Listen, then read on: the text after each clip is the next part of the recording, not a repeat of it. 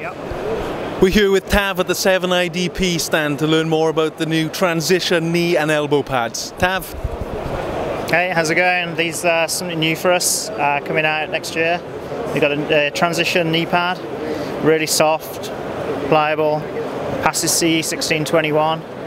Um, really good for stashing in your pocket, rolls up, piece of elastic, you can just strap it around, hold it secure, stick it in your back pocket or your pack, and then when you get to the top of the hill, pull it off, slide it on, you're ready to go.